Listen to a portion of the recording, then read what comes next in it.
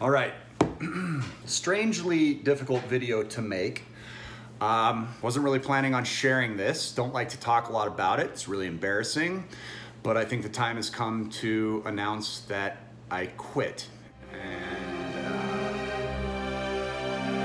uh, I think that'll come to a, as a surprise to a lot of you. But I want to explain why, and I think that um, it might be time for a lot of you to quit.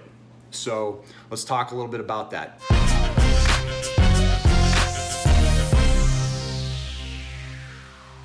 Back in November, on the 11th specifically, 2017, so a little over six months ago, um, I took a drag off of uh, my very last cigarette, and I haven't had another drag since. I took it, threw it in the garbage can, and that was it.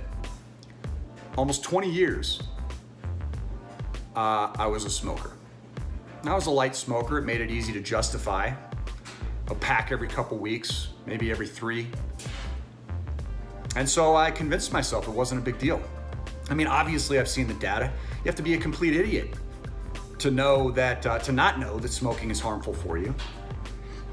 But if we're going with those standards, then in a sense, you'd have to be a complete idiot to not know that banking the traditional way is also bad for you. After seeing this channel and being exposed to what we talk about on this channel, it is undeniable.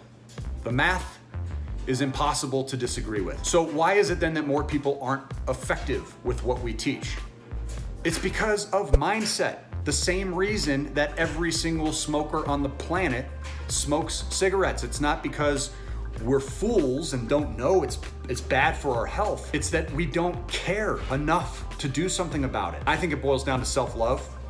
I've had this conversation with my significant other, my rock, my everything.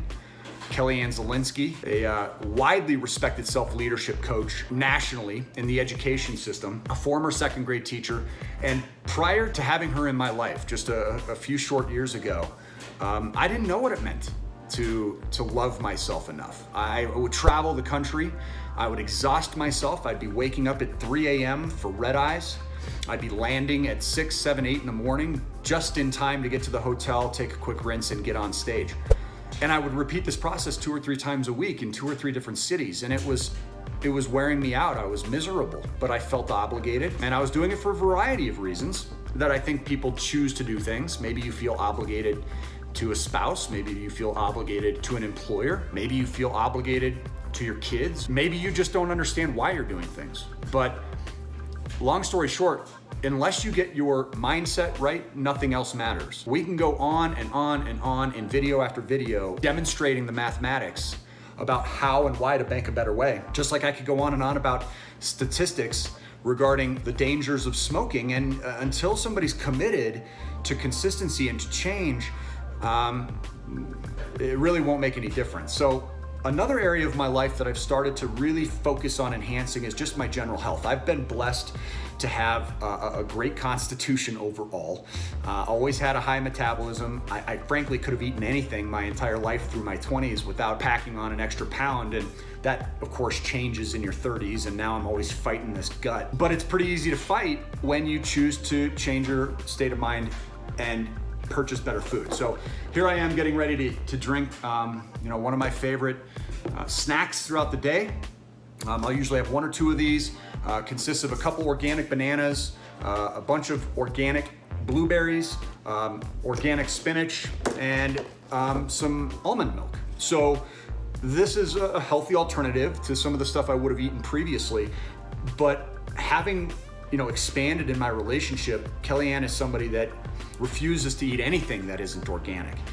And just two years ago, I would have been the guy that was adamantly disagreeing with spending the extra money in order to preserve cash flow. And I would have sacrificed in my ingredients, in, in my nutrients. And, and I just don't do that anymore either. So yes, there are times where I'm out on the road. Just got back from North Carolina, had a great time.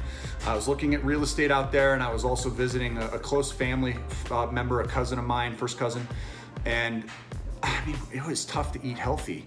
And of course, that's an excuse too. It was more difficult, I should say, than it is here. Colorado is very health conscious, so it makes it incredibly easy to get healthy food. But you know, again, that was total excuse, but I felt horrible. My body has totally adjusted to these healthier foods. And so, it, you know, it's easy to fall off. It's easy to make mistakes and to slip up. And that's true with your finances as well. But it's also just as easy once you have that mindset to go back to doing it a better way. And so the, the one tip I want you to take away from this video is you've got to love yourself enough to care. I didn't love myself enough to care. I didn't love myself enough to quit. I didn't love myself enough to eat better. So once you make that decision and it's firm, I mean, you, you, you have a come to Jesus moment and you look yourself in the mirror and say, enough's enough. That's when what we teach will work. Until then, that should be your primary priority is consuming enough information to help make those mental adjustments. And maybe it isn't the math you should be looking at. Maybe it's content from people like Kellyanne with Self Leadership Global or content from people like Jim Rohn who talk frequently about the intake of good quality information, good quality nutrients that will allow your body to expel good quality content and good quality energy. You'll feel better. Listen, I had plenty of energy before, but it was kind of sluggish energy. It, you know, it, it never felt like healthy energy. Now I have the same energy. You know, I focus on drinking a lot of water every day, okay? I, I get the best price for this. I spend $1.25 for five gallons of filtered, nutritious water, okay? Most places, tap water just isn't going to, to cut the mustard. You've got to start thinking about absolutely everything to your core. I've changed to totally organic sunblock. I've changed to totally organic deodorant, totally orga organic toothpaste, gotten rid of fluoride, gotten rid of everything, all these extras that the United States seems to like to put into everything, okay? And, and so uh, that's changed my entire, all of my results. Uh, you know, I gained something like eight pounds in, in uh, North Carolina in one week by just eating crappy, okay? I come home and I lose it one week later.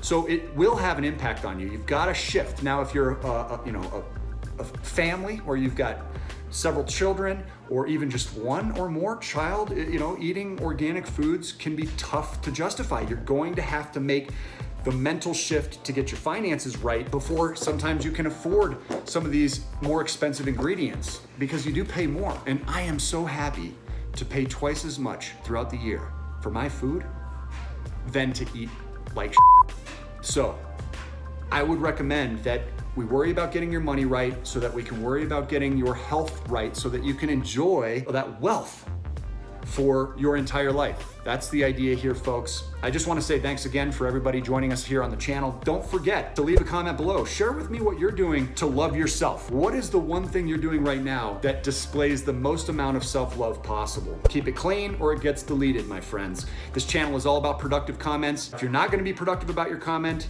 most likely your comment won't make the public forum. But anybody that comments is now eligible for a $25 Amazon gift card. We're giving one away every single week, all the way until October.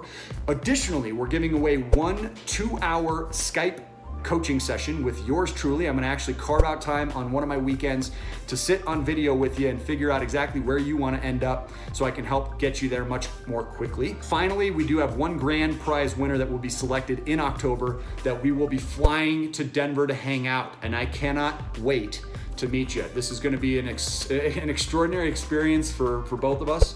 Um, and so until we see you guys on the next video, say hi. There's Kellyanne, everybody. So until we see you guys on the next video, make sure you throw a comment below, smash that like button. You've got to be a subscriber to be eligible for the contest. And so make sure you're subscribed to the channel. Check out all the videos to see exactly how the math plays a role in all of this. We look forward to playing a role in your success. Until the next video, make it a great day today and take care, friend.